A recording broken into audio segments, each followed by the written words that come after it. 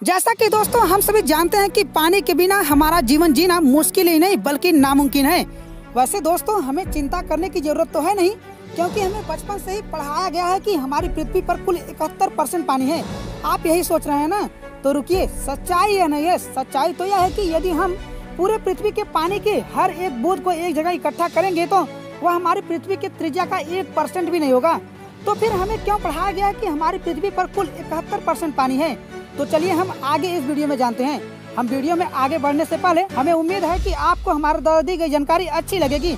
और यदि हमारे द्वारा दी गई जानकारी आपको अच्छी लगे तो वीडियो को लाइक, कमेंट शेयर करें। और ऐसे ही नई नई जानकारियाँ प्राप्त करना है तो आप अपने YouTube channel R K real facts को सब्सक्राइब करके बेलाइकन प्रेस करके आल पर सेट करिएगा जिससे हमारे अगली वीडियो को नोटिफिकेशन सबसे पहले मिल जाए। तो दोस्तों, आइए वीडियो पर हम वापस आते हैं। दोस्तों, जो हमें स्कूलों में पढ़ाया गया है कि वह इकहत्तर परसेंट पानी है वह हमारे पृथ्वी के ऊपरी सतह का पानी है। तो दोस्तों, हम और बेहतर तरीके से समझने के लिए चॉकलेट आइसक्रीम का उदाहरण लेते हैं, जो कि हमारे अनुसार से पूरी चॉकलेट से बनी हुई होती है। लेकिन ऐसा नहीं है। चॉकलेट आइसक्रीम जो होती है, वह असल में पूरी मिल्क क्रीम से बनी हुई होती है। इसे केवल चॉकलेट में डुबोया जाता है और इसका केवल ऊपरी हिस्सा ही चॉकलेट का बना हुआ होता है। और इस तरह हमारे पृथ्वी का कुल इकहत्तर परसेंट पानी एक जगह इकट्ठा करने पर बस इतना ही छोटा गोला बनता है।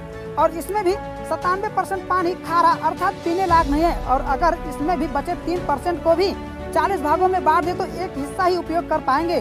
बाकी बचे उनतालीस भाग वायुमंडल और ग्लेशियर के रूप में मौजूद है। तो दोस्तों, हम उम्मीद करते हैं कि आपको ये वीडियो देखकर पानी के इम्पोर्टेंस समझ आ गए होंगे।